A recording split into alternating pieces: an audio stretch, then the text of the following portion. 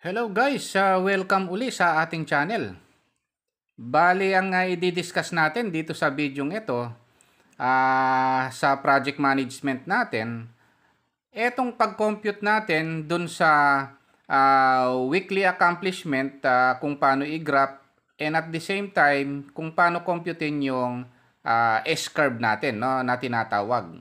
So kung naalala nyo guys uh, dun sa mga ginawa natin dito, uh, kinuha natin yung mga activity, kumuha tayo ng cost, kinuha natin yung percent weight ng uh, every activity, no? So, panoorin nyo guys pala yung mga previous video natin tungkol kung paano na-compute ito, no? Uh, yung uh, sa scheduling natin sa Excel.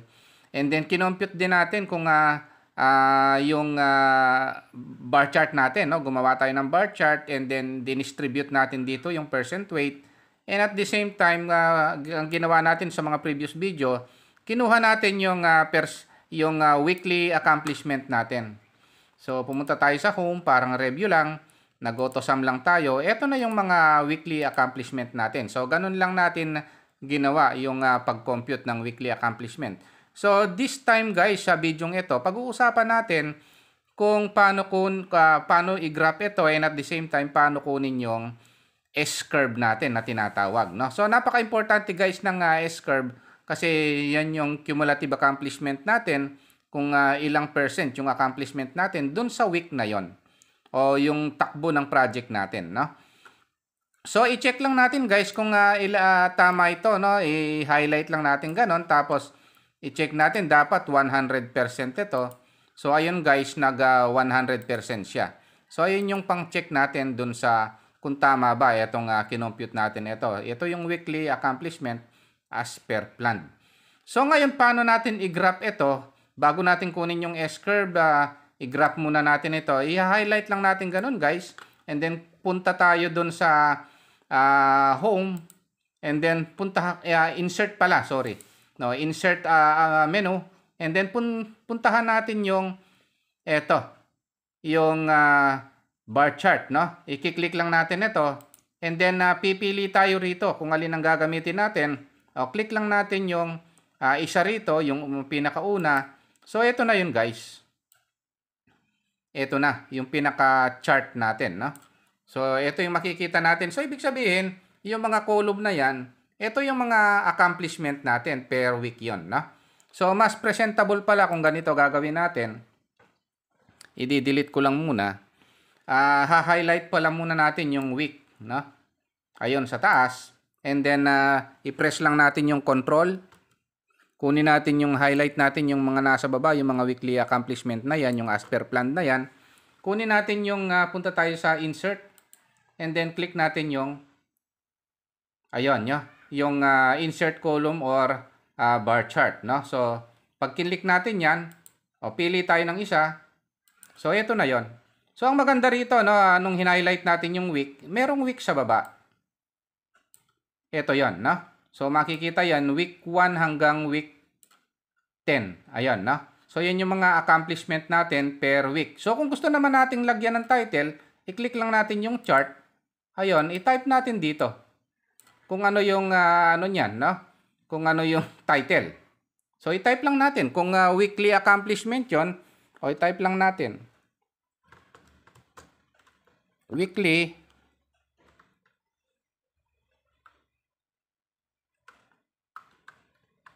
accomplishment.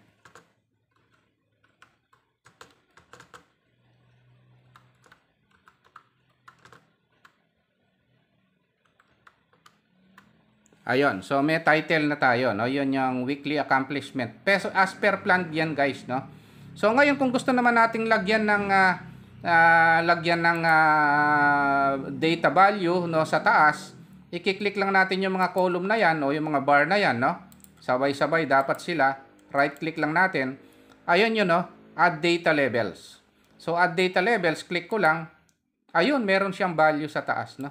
Ito rin 'yon, no? Sa first week 11.7, second week 11.7, third week accomplishment 6.7%, no? Percentage 'yan, no? 8%. Ito rin yun guys, no? Kung nakikita yon hanggang dito sa pinaka day uh, week 10 9.5%. Ayun 'yon. So, mas presentable siyang tingnan Kasi meron siyang ah, column at saka and at the same time, nandun yung mga data niya sa taas kung ilang percent siya. So, eto guys, napiprint yan ha. Print, napiprint ito, printable. Ah, ngayon na actually ito ah, ito pa lang yung ah, weekly accomplishment ah, bar chart natin no? Or yung mga columns natin. Ah, mas maganda ng tingnan na mas ah, presentable siya kung uh, ipiprint natin eh, ipipresent natin sa ma, sa site no? Para makita nila kung ilang ah, percent per week as per plan yung target natin o yung dapat ma-accomplish. So ngayon paano naman natin computein yung ah, uh, cumulative accomplishment natin as per planned, no? So, sa first week, uh, para ma-compute pala natin na yung uh, S-curve natin, no? Mai, ano na natin, mai-graph na natin. So, i-click lang natin ito. Sa first week, uh, ganito yung pag-compute niya. Sa first week, lagyan lang natin ng equal sa unahan, no? And then, click lang natin yung uh, first week accomplishment, then enter. And then, sa second uh, week, i-click lang natin. Kung cumulative yan, guys, uh, lagyan lang natin na equal sa unahan, pag cumulative na sinasabi, first week plus second week. Ganun lang yung uh, gagawin natin, no? Ipa-plus lang natin yung first week sa second week. Then enter. Ayun na yun, no? So, ibig sabihin, sa first week, accomplishment natin, 11.7%, no? Sa, sa, second, uh, sa second week ng project, ito na yon 23.5% na. So kasi yung first week tsaka yung second week accomplishment, tinotal na natin.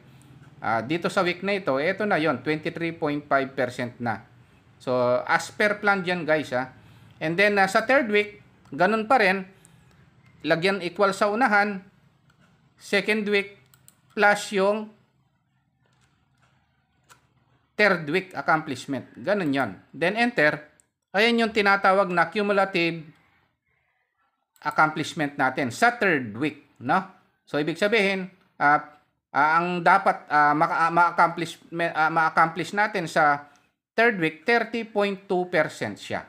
So yun ang ibig sabihin. Pero pag uh, per week, pwede nyo sabihin na first week 11.7%, second week 11.7% pa rin, sa third week 6.7% lang, pero pag tinanong, yung total accomplishment mo dapat, no, sa buong 3 weeks ng project mo, 30.2%. Yun ang ibig sabihin. I-add mo lang yung tatlong yon, ito yon, yung total na yon, no? Para mapabilis, guys, uh, pwede nyong i-copy na lang ito. Pag nakita niyo yung cross na block na yon, i-drag nyo na lang, no? Ayun yan, no? Sa dulo, guys, dapat 100% yan. Pag hindi 100% yan, guys, mali, no? Yung uh, kinompute natin. So, dapat uh, ah, 100% sa dulo. Okay? So, ibig sabihin, sa fourth week, uh, sa fifth week, ito na yon uh, sa fourth week muna pala tayo, 38.2% siya, no? Sa fifth week, 51.4%. O sa dulo, sa 10th week, ay dapat 100% na yan. Yun ang ibig sabihin yan, guys. Yung uh, cumulative accomplishment. Ngayon, kung gusto nating makita na yung S-curve natin, o highlight lang natin yung cumulative accomplishment na yan as per plan, and then click lang natin uh, yung insert uli, insert menu, and then click lang natin yung uh, this time uh, ito, no? So, yung uh, insert uh, line or uh, chart, no? So, click lang natin ito, o pili lang tayo rito. O click lang natin ito, yung isa rito, ayun na yon, no? Ito na. Yung parang S siya, curve siya, no? So, pwede rin natin lagyan ng title. Ayan. O, lagyan nyo lang ng title. Kunwari, S-curve, no?